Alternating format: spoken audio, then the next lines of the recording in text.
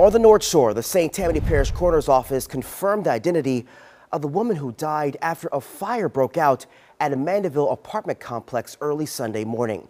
The woman is 72-year-old Jeanette Chantry. Chantry died on the aftermath of that fire at the Tops L condominium complex. The coroner's office says an autopsy to determine the cause and manner of death is scheduled for tomorrow. Fire officials say Chantry died at Lakeview Hospital. Tom Whalen was on scene while firefighters were working on the flames. They had to break open the door. She wasn't responding. And they had to break open the other door because the, the person wasn't there. Um, and there was a lot of smoke, um, but otherwise, I don't know. And they were using water, but I don't know how much. Now, the cause of the fire is still under investigation. The investigation is being led by the Mandeville Fire Department and state fire marshals.